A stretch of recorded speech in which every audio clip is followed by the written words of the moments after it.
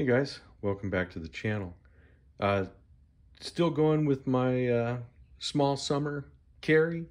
Uh, today we have in a Rough Rider slip. This is the uh, Case Sky Blue Crandall Jig Peanut. And so I've really been digging the small carry. I got to tell you, it's been one of my favorite uh, little things that I've done, kind of keeping things on the minimalist side. Uh, we'll take a look at this knife. I know that uh, Andrew had some issues with his. You see, this one doesn't look too bad.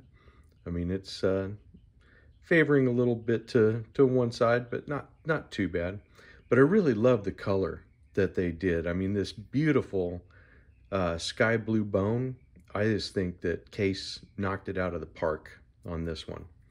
I love the uh, arrowhead shield too. I think that's really cool.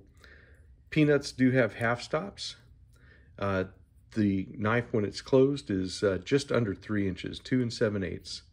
But you can still get a good three fingers on there and you can use your pinky to back you up.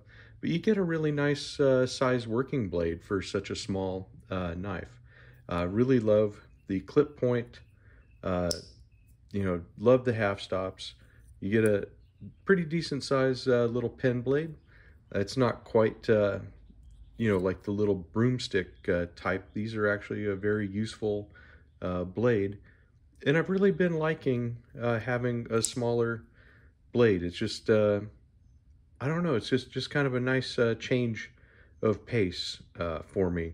In a way, you slow down a little bit and, and things are just a little bit better, I think, when you do that. A little bit safer, a little bit thinking about what you're doing, you know. So uh, really have been enjoying this. Really like the uh, the peanut. These little guys, uh, you drop them in a pocket. They don't weigh hardly anything, and the knives just kind of say, "Hey, just throw me in your pocket. Take me on an adventure. Let's see what what we can find." And so I really uh, have been having them, you know, in a way they they talk to you you know, I guess I sound crazy when I say that, but but maybe I am crazy. You know, so that's just kind of the way it is. But I wanted to do a, a little uh, small uh, update to the channel as well. Uh, on the Sunday show, this Sunday, this will probably be uh, the last one for a little bit. I'm going to take the show and kind of put it on a little bit of a hiatus. Things have just been kind of crazy in my uh, work life and my uh, personal life, and I want to kind of get things back, get centered, get to where uh, things are, are a little bit better. Uh, I'm going to experiment with some different formats for the Sunday show. Uh, it may not be every single Sunday. It may be with or without guests. It may or may not be pre-recorded but I'll see what I can do about uh, having some kind of uh, some kind of a show, some kind of uh, interesting thing to uh, to show you. So you know, it's not going away. I'm not quitting YouTube or any of that other stuff.